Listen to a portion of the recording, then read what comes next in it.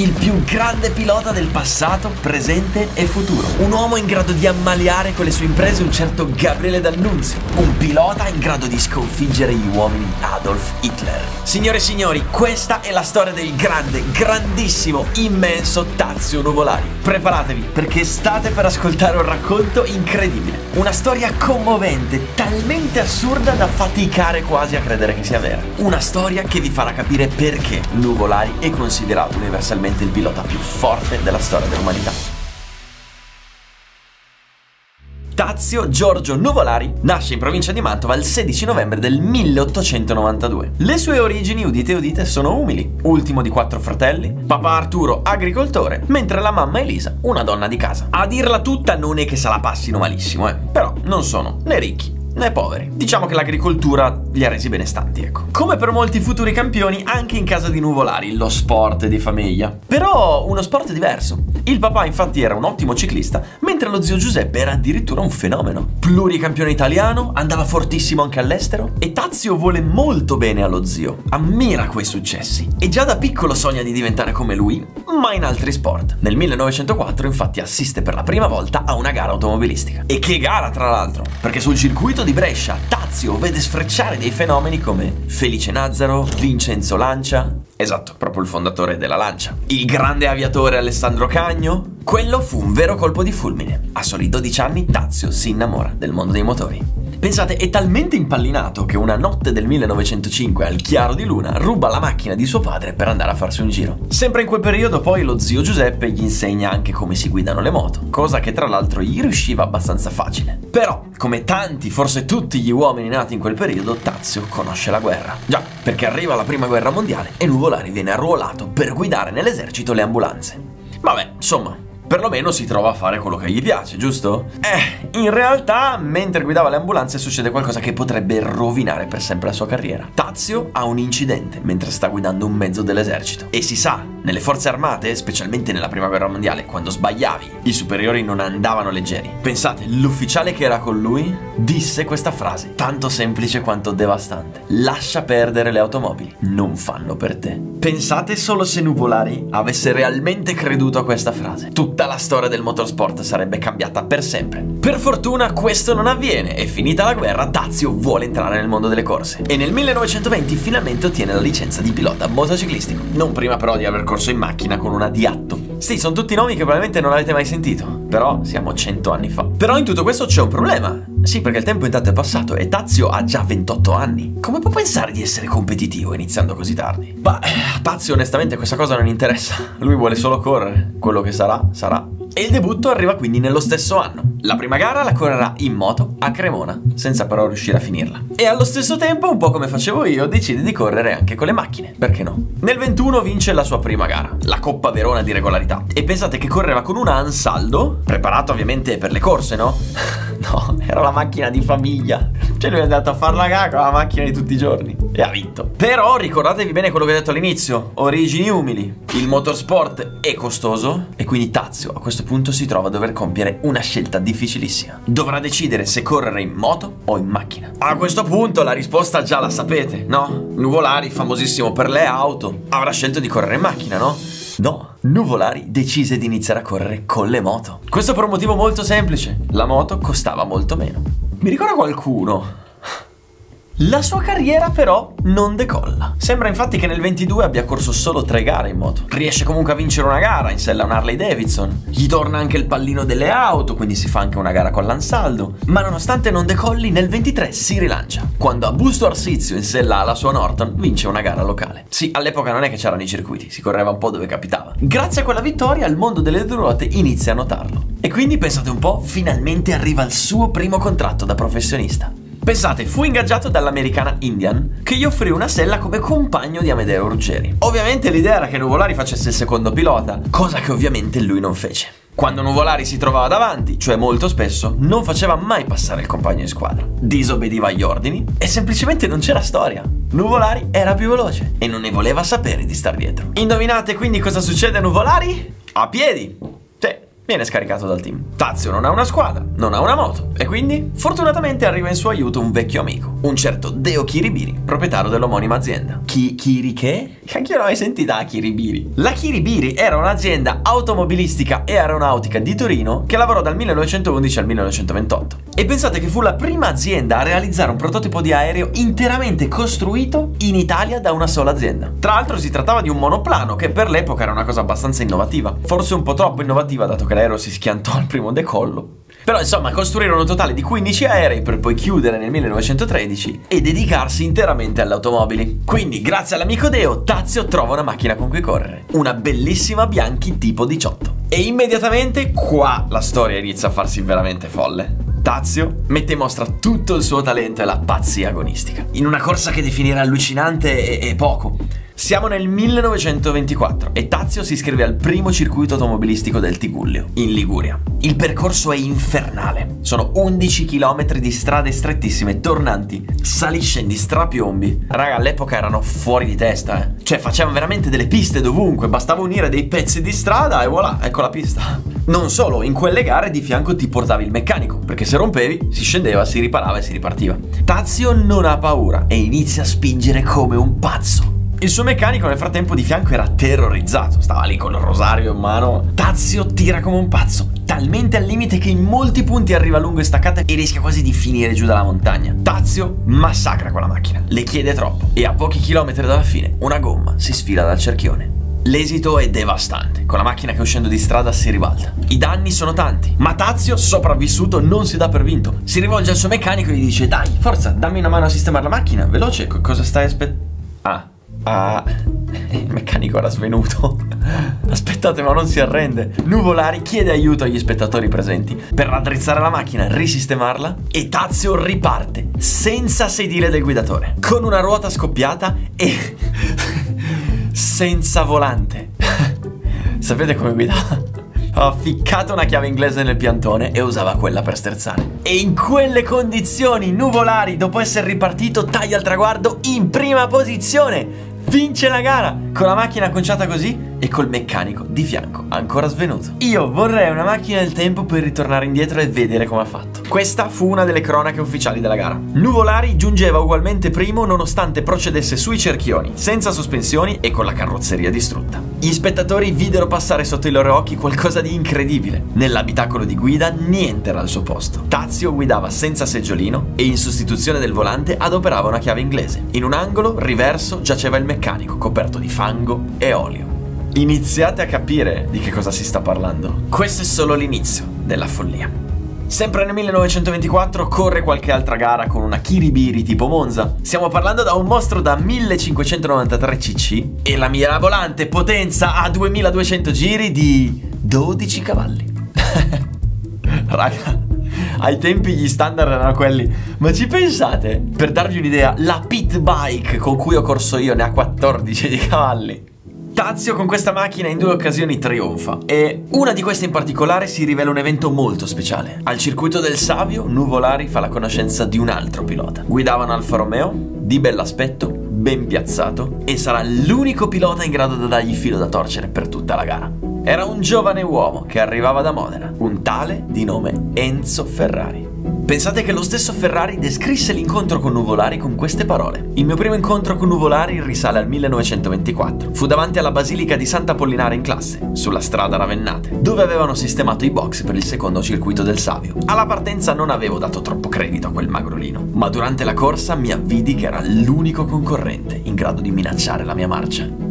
Ma la stagione non finisce qua, perché a Nuvolari ovviamente mica bastava solo vincere in auto. Rispolvera infatti la sua Norton e compie due imprese sensazionali. Sui circuiti di Mantova e Cremona trionfa con la sua 500 contro piloti che correvano con il 1000. Correrà poi altre gare, altre vittorie e grazie a questo viene ingaggiato come pilota motociclistico dalla Bianchi. Quello che però succede dopo supera ogni immaginazione. Vi giuro, quando ho saputo questa cosa ho fatto fatica a crederci. Tazio si trova a Monza per dei test in vista del Gran Premio motociclistico delle Nazioni del 25. E quello stesso giorno all'autodromo c'è anche l'Alfa Romeo che sta affrontando la tragica scomparsa di Antonio Ascari, morto in un incidente al Gran Premio da Francia mentre era primo. La squadra quindi ha convocato i piloti che si sono candidati per occupare quel volante rimasto libero. E secondo voi nuvolari potevano non candidarsi? Ovviamente no. E quindi, una volta finiti i test in moto, va lì e chiede agli uomini dell'Alfa se possono fargli provare la macchina. All'epoca era così, oggi non puoi più farlo. Detto fatto, Nuvolari si mette alla guida e inizia a girare come un pazzo. Pensate, va talmente forte che si avvicina subito al record di Ascari dell'anno prima. Peccato che, una cosa che imparerete a capire, Nuvolari esagera. Lui era sempre oltre al limite. Esce di pista e si ribalta. Questa volta le conseguenze sono drammatiche. Tazio ha numerose costole incrinate e contusioni dovunque. Pensate le ferite più dolorose sono date dal filo spinato, contro il quale si è schiantato e che gli ha lacerato la pelle in moltissimi punti. Alla macchina distrutta e al dolore atroce si aggiunge poi un altro grande problema. Nuvolari, conciato così, non potrà correre il Gran Premio delle Nazioni in programma 12 giorni dopo. Vero? Beh, se di nome fai Tazio e di cognome Nuvolari, tutto diventa possibile. Sentite qua. Contro il parere di tutti, medici in primis, Tazio si presenta sulla griglia di partenza e chiede di essere ammesso, cosa che gli viene concessa ovviamente partendo dal fondo, cioè non ha fatto le qualifiche. La scena è incredibile. Nuvolari è ricoperto di fasciature in tutto il corpo e i suoi meccanici devono letteralmente prenderlo e piazzarlo sulla moto perché da solo non riusciva a salirci. Tutti si chiedono cosa ci faccia lì, perché una mummia stia correndo su una moto. Tazio è indemoniato fa una rimonta pazzesca. Sorpassa uno, due, tre, quattro avversari fino a che non finiscono le moto. Tazio li ha passati tutti. Quella mummia di nome Tazio e cognome Nuvolari ha vinto il Gran Premio delle Nazioni diventando campione europeo della classe 350. Ah, e la gara era sul bagnato. Quella performance al limite dell'umano ovviamente gli vale il rinnovo con la Bianchi anche per l'anno successivo. Tommasini però, visto come era andata l'ultima volta, gli pone una condizione molto rigida. Tazio, sei un fenomeno, ti vogliamo con noi, però facciamo così, non tocchi più nessuna automobile, ok? Pensate che strano il mondo. Oggi se corri in macchina ti dicono non guidare la moto che ti fai male. A Nuvolari, che guidava la moto, gli ha detto non guidare le macchine. Così nel 1926 Nuvolari correrà solo in moto. L'anno però non inizia bene, tra scarsi risultati, problemi, ma soprattutto in Germania arriva un incidente bruttissimo. Tazio esce di pista a causa della nebbia e i soccorritori lo trovano privo di sensi e pieno di fratture. In Italia giunge la notizia terribile. Tazio non c'è più. Nuvolari è morto facendo quello che amava, correre. Alla Bianchi ovviamente sono sconvolti e uno dei dirigenti sale subito su un treno diretto verso la Germania per capire che cosa sia successo. E proprio mentre si trova nella stazione di Stoccarda, il dirigente si trova davanti un fantasma. Davanti a lui, Tazio Nuvolari in persona. Aspetta, ma, ma, ma non era morto? Eh, no, no, era stato dato per morto, ma in realtà non era morto. Anzi, dopo l'incidente le sue condizioni sono migliorate rapidamente, consentendogli addirittura di tornare in Italia. certo, l'incidente è stato veramente brutto e la convalescenza sarà molto lunga. Tazio quell'anno fu costretto a saltare il Tourist Trophy. Aspetta, stiamo parlando di nuvolari. Cioè, secondo voi, uno che ha corso una gara bendato da mummia può aspettare per salire in moto? Torna a correre, vince la corsa dell'Ario e da lì non si ferma più con quattro vittorie di fila nonostante tutti i dolori e gli acciacchi. E Nuvolari si laurea campione italiano assoluto. Va talmente forte che la gente inizia a soprannominarlo il campionissimo. Ma tutto questo successo no, non gli basta e siamo solo all'inizio perché Tazio sogna di vincere anche con le quattro ruote. Però vi ricordate, no? Bianchi gli ha detto, uè, no macchine. E infatti proprio ascoltando quello che gli disse Bianchi, nel 1927 Nuvolari partecipa alla Mille Miglia. Facendo ovviamente incazzare quelli della Bianchi. Ma il problema non fu solo questo, perché Nuvolari decise di correre con una Kiribiri. Un po' come se Leclerc va a fare la 24 ore di Le Mans con la Lamborghini. Eh, ma Nuvolari non, non cede, cioè, forse avrete capito che personaggio era. Lui vuole correre. E quindi chi sarà a cedere? La Bianchi. Che gli dice, ok, fatti sta mille miglia, però la fai con la nostra macchina, ok? Eh vabbè, ok. Tazio quindi corre con una Bianchi tipo 20 e arriva solo decimo. E evidentemente a Nuvolari piaceva provocare chi gli pagava lo stipendio. Decise quindi di comprarsi una Bugatti nuova fiammante per partecipare ad altre gare. Arriva terzo, un ottimo risultato, se non fosse che nel frattempo si è strappato la schiena. E indovinate un po', pochi giorni dopo deve correre a Verona in moto con la Bianchi. Non può mancare, perché già in Bianchi sono abbastanza arrabbiati. Figurati se manca. E quindi Tazio si presenta in griglia imbottito di morfina e indovinate un po', stravince. La cosa incredibile di Nuvolari era che sembrava non sentire il dolore, sembrava non soffrire. Aveva una sola cosa in mente, vincere con qualunque cosa, sia che avesse due o quattro ruote. Lui continuava a correre e a vincere. Tutto questo chiaramente inizia a far notizia. In Italia tutti parlano di lui e delle sue grandi imprese e pensate un po' anche all'estero il suo nome inizia a circolare. E stiamo parlando degli anni 20, non è il mondo di oggi connesso a portata di click. Ma Tazio non vuole solo vincere, non vuole solo essere conosciuto. Tazio vuole diventare una leggenda del motorsport. E alla fine del 27 gli viene un'idea. Perché non fondare una squadra tutta sua? Detto, fatto. Nel 1928 nasce la scuderia Nuvolari. Tazio fa le cose in grande. Pensate che compra 4 Bugatti. Due di queste auto le vende ai piloti che sono entrati nella squadra e una di queste se le aggiudica Achille Varzi. Memorizzate questo nome, perché sta per iniziare una storia incredibile. Varzi era il suo acerrimo rivale nelle corse in moto, ma allo stesso tempo era anche un grande amico di Tazio. E cosa c'è di meglio che condividere la propria passione con un amico avversario? Tutto. Infatti i due litigano subito. Cioè, quando metti due galli nello stesso pollaio, in poco tempo gli accordi economici saltano e Tazio si ritrova senza un pilota cliente. Così, per racimolare soldi, inizia a vendere macchine, vendere di tutto. Alfa, Fiat, Scat, Bianchi e corre con qualunque macchina. Ma la vera esplosione di Tazio nel motorsport arriva nel 1930. Aspetta, ma come vera esplosione? Cioè, finora cosa ha fatto? Quello che ha fatto finora Nuvolari è niente. Sentite qua. Dopo l'incidente di Monza, ve lo ricordate quello in cui ha demolito l'Alfa Romeo? Ovviamente l'Alfa però nel 1930 un tragico evento cambia totalmente le carte in tavola. L'Alfa, di nuovo, perde uno dei suoi piloti migliori, il nobile Gastone Brilliperi. La squadra si trova in difficoltà e i vertici decidono quindi di dare una seconda opportunità a Nuvolari. E indovinate un po' chi si ritrova come suo compagno di squadra? Achille Varzi, il suo nemico numero uno. Già alla prima gara, Nuvolari compirà un'impresa passata alla storia. Qualcosa che si confonde tra realtà e leggenda. Una delle cose che l'ha reso ancora più famoso. L'occasione è alla mille miglia, una gara in cui le Alfa Romeo si presentano imbattibili. Basti pensare che al traguardo le prime quattro auto saranno tutte delle Alfa. La gara però non ha storia. La vittoria è questione tra Varzi e Nuvolari. Varzi si trova in testa con un vantaggio importante, circa 7 minuti. Tazio però è uno schiacciasassi e inizia a spingere, spingere, spingere per colmare questo gap. Qui arriva la storia incredibile. La leggenda infatti narra che Nuvolari raggiunse Varzi nel cuore della notte e a quel punto per sorpassarlo mise in atto quella che viene chiamata la beffa dei fari spenti. Si narra infatti che Nuvolari e il suo copilota, una volta raggiunto Varzi, spensero i fari. Perché?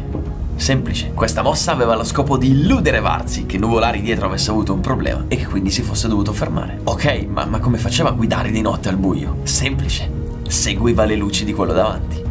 Wow, ok, però a un certo punto avrebbe dovuto sorpassarlo, no? In realtà no, gli bastava arrivare dietro di lui per vincere la gara, perché Nuvolari era partito 10 minuti dopo Varzi, e quindi se avesse finito poco dietro di lui avrebbe vinto. E quindi, dato che si calcola quanto tempo ci hai messo, arrivandogli dietro di poco Nuvolari avrebbe vinto. Quindi Nuvolari si fece tutta la gara dietro a Varzi per arrivare poi sul traguardo e vincere, vabbè, facile. Col cazzo. Nuvolari si sentiva tradito da Varzi. Varzi non andava battuto andava stracciato davanti a tutti. E così lo fece. Nuvolari passò Varzi e vinse la corsa. Qui la storia diventa leggenda. Alcune testimonianze, tra cui quelle dello stesso Varzi, hanno smentito, dicendo che il sorpasso in realtà è venuto più tardi di giorno e Varzi l'ha fatto passare perché tanto aveva già vinto. Quindi, verità? Bugia? Che disse Nuvolari? Nuvolari non si espresse mai, magari consapevole che un po' di mistero sicuramente gli avrebbe fatto bene. Già le cose che ho detto all'inizio basterebbero per raccontare una storia incredibile. Ma se Nuvolari viene ricordato come il più grande della storia, un motivo ci sarà. Vi sembra assurdo, ma questo era solo l'inizio. Dopo quell'impresa folle della mille miglia, Tazio riceve una telefonata. Pronto, Tazio? Senti, ho appena fondato una squadra. Ti andrebbe di correre per me? Penso che potremmo fare grandi cose. Dall'altra parte della cornetta c'era Enzo Ferrari e quella scuderia era la Ferrari che correva con l'Alfa Romeo. Sì, perché all'inizio Ferrari non costruiva macchine, correva. La scuderia Ferrari è nata molto prima della Ferrari. La nuova avventura inizia col botto. Tazio si presenta al via della Trieste Opicina a bordo di un Alfa Romeo. È una sorta di cronoscalata, una gara talmente veloce che viene chiamata la Monza in salita. Ma Nuvolari non si fa intimorire, anzi, qui entra nella leggenda. Guida come un pazzo, come solo lui sapeva fare. E addirittura a un certo punto compie una manovra folle. Ascoltate qua, il circuito era sterrato e sapete come affronta una delle curve più difficili? Un pilota normale con le auto dell'epoca arriva, frena, gira e poi riparte. Nuvolari no. Nuvolari arriva alla curva, colpo di sterzo, macchina di traverso, giù tutto e se la fa tutta di traverso. Quella manovra segnerà la storia del motorsport, perché da lì il mondo intero capirà che mettere le macchine di traverso in certi casi ti fa andare più forte. Questa è la base del rally, questo è lo spirito del drift. Tazio Nuvolari aveva inventato il traverso. E pensate che piccolo il mondo. Io ho provato il drift, ho fatto un video. Nicola Tesini ha una grande scuola di drift qua in Italia. E il padre di Tesini, sapete chi era? Era il meccanico di Tazio Nuvolari. Pensate che piccolo il mondo. La vittoria di Nuvolari fu schiacciante. Tazio e il suo copilota trionfano, facendo segnare anche il record di velocità media, 95 km/h con quelle macchine, sullo sterrato. Con questa impresa Nuvolari regala la prima vittoria nella storia alla scuderia Ferrari. Ma a Tazio ovviamente non gli basta, vince anche le due successive cronoscalate. Ormai tutti sanno chi è Nuvolari, le squadre lo osannano, gli avversari lo temono e nello stesso anno vince anche al Tourist Trophy con la Ferrari. Aspetta, Tourist Trophy, quello che si fa con le moto. Sì, una volta si correva anche con le macchine. Per restare in tema di moto, il 1930 sarà un anno storico, perché Nuvolari dirà addio alle due ruote. A 38 anni si è sfasciato tutto Prima di dire addio però si fa qualche altra garetta, la stravince, giusto per dire a tutti sono il migliore. Nel 31 Tazio continua a dominare, vince 7 gare, ma ciò che rese importante quell'annata fu la dimostrazione del suo genio, qualcosa in più rispetto agli altri. Durante una gara a cronometro ha un piccolo problema tecnico, cioè passa troppo veloce su un passaggio a livello. Avete presente no quel saltino che fa la macchina quando passate sopra i binari? Ecco, Tazio l'ha preso talmente forte che il colpo gli ha spezzato la molla dell'acceleratore. Quando spacchi l'acceleratore la gara è finita, no? Sì, non per nuvolari. Tazio continua la gara utilizzando frizione, freno e volante. Sì, e l'acceleratore? ecco, l'acceleratore lo azionava il meccanico di fianco a lui. Molto semplicemente si era tolto la cintura, l'aveva passata dentro il cofano, attaccata direttamente al motore e con la cintura apriva e chiudeva la farfalla del motore. Con questa follia Nuvolari non solo riesce a finire la gara, ma la vince dando 32 secondi al secondo. E sapete chi era il secondo? Un certo Enzo Ferrari, che quasi non crede a quello che ha visto. In tutto questo Nuvolari ha 40 anni e non si vuole assolutamente fermare. 1932, su 16 gare ne vince 7 assolute e 5 di classe, tutte con la scuderia Ferrari. Ormai Nuvolari viene chiamato il Mantovano volante. Le sue imprese sono talmente grandi che arrivano alle orecchie di un certo Gabriele D'Annunzio. Esatto, quel Gabriele D'Annunzio che studiamo a scuola. Pensate che D'Annunzio consegnò a Nuvolari un regalo, una piccola tartaruga d'oro con una dedica speciale. All'uomo più veloce, l'animale più lento. Pensate il genio poetico nel fare un regalo del genere. Nuvolari è, è, sinceramente colpito dalla considerazione che ha D'Annunzio di lui e, e quel regalo lo commuove. Gli piace talmente tanto che quella tartarughina diventerà il suo amuleto e il suo simbolo. La porta sulla sua inseparabile maglia gialla che usa per correre, la fa stampare sulla carta da lettere, la fa dipingere sul suo aereo privato. Ecco perché il logo di Nuvolari è una tartaruga. E non finisce qui. Nuvolari viene convocato a Roma dalla persona più influente di quel periodo, un certo Benito Mussolini che vuole assolutamente incontrarlo. I due si conoscono. Mussolini, quasi da fanboy, si fa fotografare tutto fiero al volante dell'Alfa Romeo numero 8 del pilota più veloce d'Italia. La carriera di Nuvolari continua a crescere e il 33 forse è l'anno più stupefacente. Con la scuderia Ferrari vince 6 gare, tra cui la 1000 miglia e la 24 ore di Le Mans. E la cronaca di quella 24 ore fu qualcosa di assurdo. Nuvolari e il suo compagno guidano come dei pazzi, si portano al comando e addirittura hanno due giri di vantaggio. La macchina però è danneggiata, il parafango è rotto, il serbatoio perde, le riparazioni gli fanno perdere tempo e quindi poi di nuovo giù a rimontare. Fino a che il serbatoio inizia a perdere sempre di più. E qui il lampo di genio dei meccanici. Come lo ripariamo? Con una gomma da masticare usata. e funziona. Nuvolari vince la 24 ore di Le Mans in rimonta con soli 9 secondi di vantaggio. Tutto questo con un chewing gum che gli tappa il serbatoio. E qui a un certo punto arriva un colpo di scena inaspettato. Tazio si convince che se tornasse a correre in proprio guiderebbe delle auto migliori e guadagnerebbe di più. Così all'improvviso lascia la Ferrari. Si compra una Maserati, la fa modificare, vince tre gare, si schianta fortissimo, torna a correre, rivince il Tourist Trophy. Insomma, la carriera di Nuvolari sta facendo così, così, così, così, sta salendo sempre di più. Prima o poi questa ascesa si fermerà e il 1934 sembra proprio l'anno della fine. In campo infatti scendono le case tedesche con Mercedes e Auto Union che tirano fuori dei mostri da 500 cavalli di un livello tecnologico mostruoso. Nuvolari non può competere. Semplicemente le sue disponibilità economiche non lo fanno essere competitivo con le sue auto e la sua squadra. A peggiorare le cose arriva anche l'ennesimo grave incidente. Tazio finisce in coma, ha sospette fratture. Un mese dopo si ripresenta in pista, con la gamba sinistra ancora rotta, alla quale gli viene fatta una fasciatura per permettergli di correre. Però ricordiamoci una cosa, non è più un ragazzino. 42 anni, Tazio non riesce a vincere, ma è solo questione di tempo. Anche perché nel 34 succede anche qualcosa che fa imbestialire Nuvolari. Qualcosa che probabilmente gli dà una carica ulteriore a voler fare sempre di più. Sì, perché pare infatti che Auto Union fosse interessata a ingaggiarlo per l'anno successivo, tanto da fargli fare addirittura alcuni test. Sembra quasi fatta, finché un pilota di Auto Union si oppone e l'accordo salta. Sapete quale fu il pilota che prese il posto di Nuvolari? Achille Varzi, il suo nemico numero uno. Pensate che roba, è come il cattivo dei cartoni animati, ciclicamente si ripresenta. Tazio è ferito nell'orgoglio, il suo avversario numero uno, l'ex amico da cui si è sentito tradito che gli ha soffiato l'auto migliore. Questa storia non può finire così. Ed ecco che nel 35 compie forse l'impresa più grande di tutti i tempi. Il 35 sarà l'anno in cui Nuvolari sconfiggerà niente poco di meno che Adolf Hitler. Momento, momento, momento, momento. Hitler. Gran premio del Nürburgring Nordschleife, un evento importantissimo. Gli spettatori sono tantissimi, tutti tedeschi, molti ufficiali nazisti e Adolf Hitler in persona, venuto a vedere le auto tedesche, orgoglio nazionale, trionfare sulle italiane. E in effetti sulla carta non c'è storia. Nuvolari infatti si presenta in griglia di partenza con un Alfa Romeo P3 della scuderia Ferrari. Aspetta, scusa, ma non, ma non aveva abbandonato la Ferrari? Sì, però alla fine del 34 hanno fatto pace, Nuvolari ha firmato un nuovo contratto e quindi nel 35 corre con la Ferrari. Ok, ma in tutto questo c'è un problema. Problema chiamato cavalli. Le Alfa 265 cavalli, le Union 375, le Mercedes 430. La Germania voleva massacrare tutti, anche in pista. Già, ma non avevano fatto i conti con Tazio Nuvolari, che già prima della gara fa capire a tutti di che pasta è fatto. Come? Beh, al mattino prima della gara vede che la bandiera italiana presente sul circuito era tutta rovinata e consumata. E quindi dice, oggi me lo sento.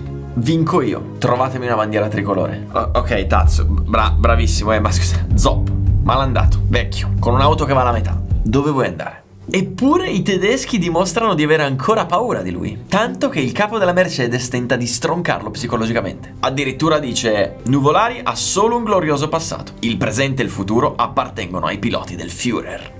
Per Nuvolari quello è un vero affronto e lui vuole deve dimostrare di non essere finito. La corsa è epica, con già nei primi giri nuvolari che riesce ad agguantare la terza posizione. E un fulmine. Tutto quello che perde nei rettilinei lo riguadagna nelle curve dell'inferno verde. E pensate un po', al nono giro supera anche l'ultima Mercedes, portandosi al comando di una gara massacrante. Nove giri con quelle macchine, lì però per Nuvolari non c'è mai niente di facile. A metà gara i primi quattro piloti si fermano ai box e qui arriva una tragedia sportiva. La pompa per il rifornimento della macchina di Tazio si rompe e i meccanici sono quindi costretti a far benzina con una tanica e un imbuto, facendo perdere 40 secondi a Nuvolari. Quando rientra in pista è solo sesto, un disastro. Ed è proprio in questo momento che il demone della velocità si impossessa di Nuvolari, che inizia a spingere ancora più forte di prima prendendosi dei rischi incalcolabili. E dopo qualche giro ecco che riconquista la seconda posizione, ma ormai si trova a un minuto di ritardo dal primo. Un.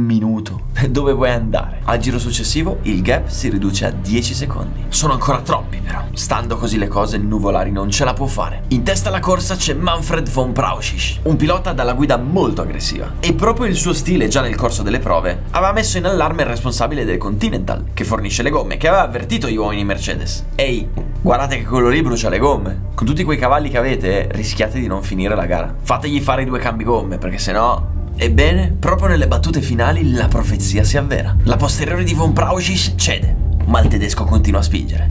Non conosce il distacco dal secondo e non vuole subire una beffa negli ultimi chilometri. Una beffa che arriva e come, quando quella gomma scoppia. La macchina è zoppa, rimane in pista a malapena e Nuvolari, una furia, raggiunge e supera Von Brauschich. È fatta! Nuvolari è primo, ma nessuno lo sa, perché l'inferno verde è lungo 20 e passa chilometri. E a quell'epoca non c'erano le dirette tv. Tutti quindi sul traguardo si aspettano l'arrivo di una vettura argentata al primo posto. E quando si vedono arrivare un Alfa Romeo rossa, tutti pensano che sia un doppiato ad accorgersi per primo di chi fosse quell'auto è un famoso giornalista della Gazzetta dello Sport, che subito inizia a gridare Ma i nuvolari! E i nuvolari! Sugli spalti cala un silenzio glaciale. Uno degli ufficiali nazisti presenti sbianca e si rimette in tasca quel foglio con il discorso già pronto per celebrare i successi delle auto tedesche. I tifosi sugli spalti però si dimostrano essere dei veri appassionati sportivi e dopo lo sbigottimento iniziale ecco che parte un applauso fragoroso mentre viene issata la bandiera tricolore in cima a tutte.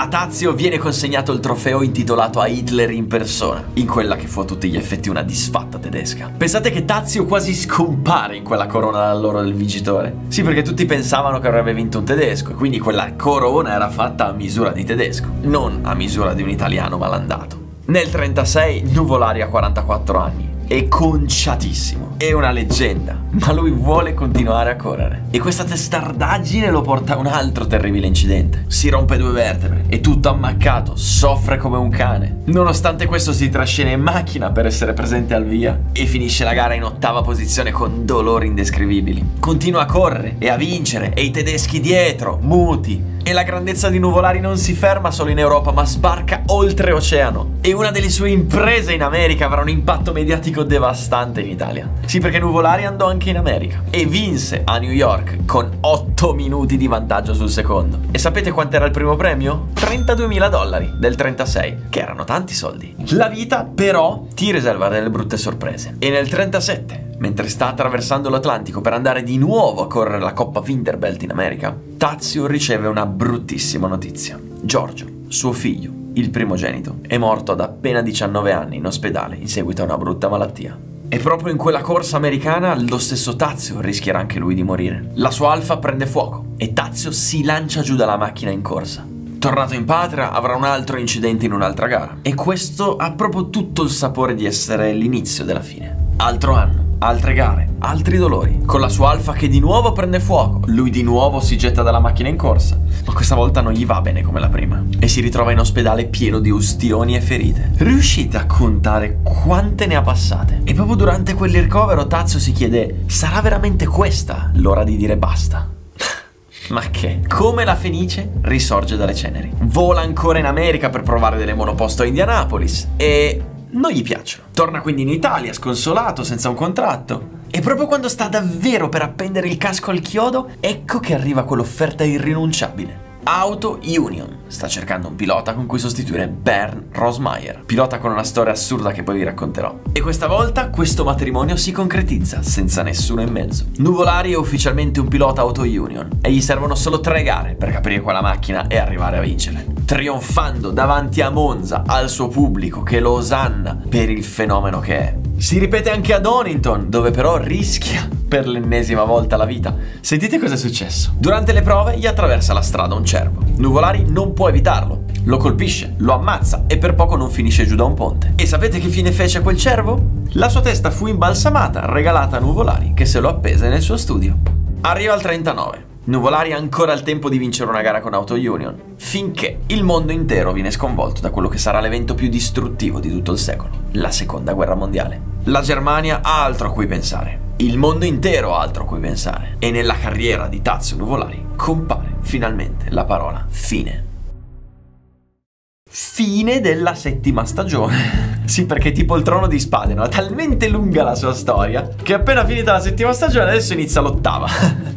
E infatti nel 46, finita la guerra, ricomincia a legare, Nuvolari ricomincia a correre. Ma è un essere umano anche lui e ormai appare veramente invecchiato e stanco. Pensate che addirittura è arrivato a un punto in cui l'odore del gas delle auto gli dà la nausea. E come se non bastasse, la vita gli regala un'altra tragedia. Anche il suo secondo figlio, ad appena 18 anni, muore, anche lui per malattia. Nuvolari è sempre lì, sempre aggrappato a quel volante, come se non avesse altro per sopravvivere. Qualcuno pensa che correre gli serva per superare il dolore, altri invece pensano che Tazio quel dolore non lo voglia scacciare via e che correndo sempre al limite stia semplicemente cercando di volarsene via anche lui. In questa disperazione arrivano altre tre vittorie, sempre frutto dell'immensa classe che l'ha contraddistinto. E ricordiamoci che ha 54 anni e una sfilza infinita di ferite, cicatrici, incidenti e fratture. Ormai Tazio non ce la fa più, è stanco, è provato nel corpo e nello spirito, ma anche se non vince continua a dimostrare perché è il migliore. Quello che riesce a fare alla mille miglia del 47 sarà qualcosa di epico. Si presenta al via con una piccola Cisitalia 202, un'auto cabrio.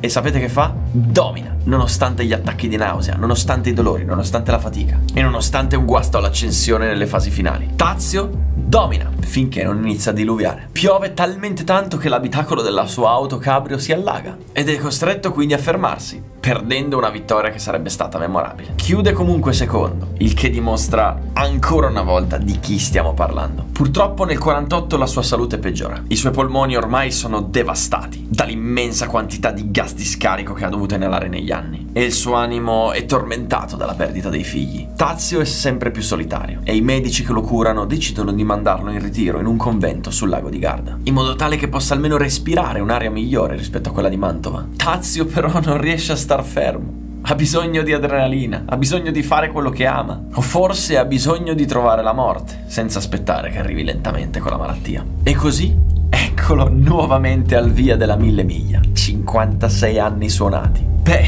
in realtà Tazio si presenta alla mille miglia da spettatore, per assistere e guardare gli amici e colleghi, finché qualcuno si avvicina e gli fa una proposta. E quel qualcuno non era mica una persona qualunque, era un tale Enzo Ferrari. Senti, ho una Ferrari libera. Ti va di correre? Non preoccuparti, sfasciala, vai al massimo. Nessuno potrà batterti. E secondo voi che cosa può aver risposto Tazio? Senza pensarci due volte, si mette al volante e come al solito, domina. Pensate che arriva ad avere la bellezza di mezz'ora di vantaggio sul secondo. Purtroppo la sua macchina non ce la fa a reggere lo stile di guida estremo di Nuvolari e inizia letteralmente a perdere i pezzi per strada. Si rompe il gancio del cofano, Tazio si ferma, stacca il cofano e riparte. Poi esce di strada e si rompono i supporti del sedile del copilota. E allora via anche quello. Poi perde anche un parafango. La vettura è seriamente danneggiata ma Nuvolari continua a spingere come un ossesso, finché a un certo punto la rottura di una balestra pone fine a quel sogno. Nonostante il ritiro, Tazio ne esce a testa altissima. Ancora una volta, e l'abbiamo detto cento volte in questo video, dimostra di essere una spanna sopra tutti. Subito dopo il ritiro, Tazio è devastato. È talmente stanco che si reca in una chiesa vicina e chiede un letto per riposarsi. A prendere lui il copilota, pensate un po', arriverà Enzo Ferrari, che per tirare sul morale di Tazio gli dice coraggio, sarà per il prossimo anno. Ma Nuvolari è cosciente che un prossimo anno non ci sarà, almeno non al volante di un'auto da corsa. Ferrari, giornate come queste alla nostra età non ne tornano di molte. Dopo una vita dedicata alle corse, Tazio Nuvolari si spegne il 13 agosto 1953. Nonostante gli ultimi anni passato lontano dai riflettori, nessuno l'ha dimenticato. A dargli l'ultimo saluto si presentano 50.000 persone e siamo nel 53. Non c'era internet. Tazio non è stato solo un uomo, un pilota, è stato un vero asso, un simbolo del motorsport italiano che stava nascendo in quegli anni e che deve tanto a quel pilota, forse il migliore di sempre, come disse un tale Ferdinand Porsche. Nuvolari è il più grande pilota del passato, del presente e dell'avvenire. Tazio riposa al cimitero monumentale di Mantova, con indosso la divisa che indossava sempre ad ogni gara, maglione giallo, pantaloni azzurri e gilet in pelle marrone. Accanto a lui riposa anche il suo volante preferito, l'oggetto simbolo di un'esistenza vissuta sempre al limite. Sulla sua tomba è incisa la frase Correrai ancora più veloce per le vie del cielo. In numeri, Nuvolari è stato un pilota da 353 gare, 105 vittorie assolute, 77 di classe, tra auto e moto, 7 volte campione italiano e 100 volte autore del giro più veloce in gara. Tutto questo quando i mondiali ancora non esistevano. Tazio è il simbolo di una nazione intera. Ho pensato che fosse bello chiudere questo video con le parole di Achille Varzi su Tazio Nuvolari. Parole che hanno un significato immenso, soprattutto vista la rivalità che c'era tra i due. Nuvolari è stato il miglior corridore di tutti i tempi. Non poteva essere definito un maestro, ma soltanto un artista del volante. Un maestro potrebbe insegnare, l'arte invece non si insegna.